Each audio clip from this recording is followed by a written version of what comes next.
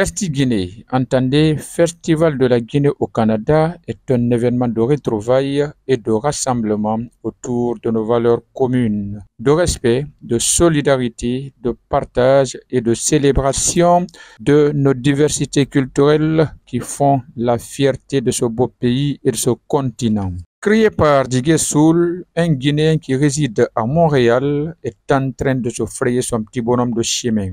En cette septième édition, l'événement a réuni pas mal d'artistes ou d'invités venus de partout dans le monde. Digue Ikaka, à sa descente d'avion, s'exprime sur la cause de sa participation.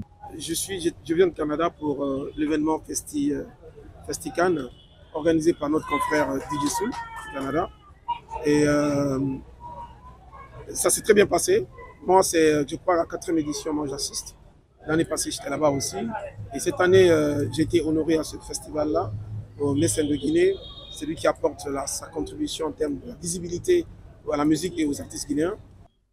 Lauréat du prix, le mécène de la musique guinéenne, lors de ce festival, Digue Ikaka parle de sa fierté vis-à-vis -vis de la reconnaissance de sa contribution pour la visibilité de la musique guinéenne. Le prix, c'est Mécène de Guinée entre parenthèses, contribution pour la visibilité de la musique guinéenne et, et beaucoup pour les artistes guinéens. D'accord? Et voilà quoi, j'étais très honoré et c'est même l'ambassade qui m'a remis le prix parce que à chaque fois quand il organise, il fait, il fait venir aussi l'ambassade. C'est vraiment la première fois que je suis honoré en Amérique du Nord. Peut-être que ça une énième fois, mais ce n'est qu'un plus.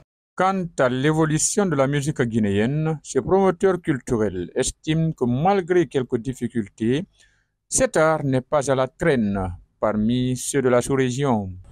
Écoute, la musique guinéenne évolue comme toutes les musiques africaines parce qu'avant, euh, les Nigériens n'étaient pas à ce niveau, les Ivoiriens n'étaient pas à ce niveau. Le monde évolue d'ailleurs en général. D'accord?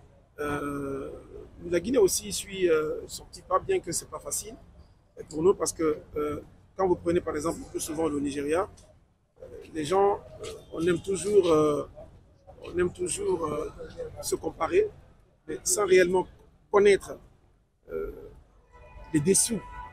Pourquoi les autres réussissent et pourquoi pas nous? Pour terminer, Djigé Ikaka invite tous les Guinéens à se battre pour la promotion et la valorisation de la musique africaine de Guinée.